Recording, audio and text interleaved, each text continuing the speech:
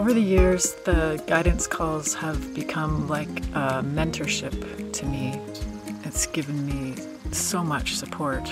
The homeschool teacher guides, they are actually just a treasure, both instructional and a dose of freedom to just really take into account how children learn. I felt very supported by how much materials were included, how I could choose the stories that really resonated and fit right with my kids. I think anybody would be really um, impressed with its comprehensive and adaptable nature.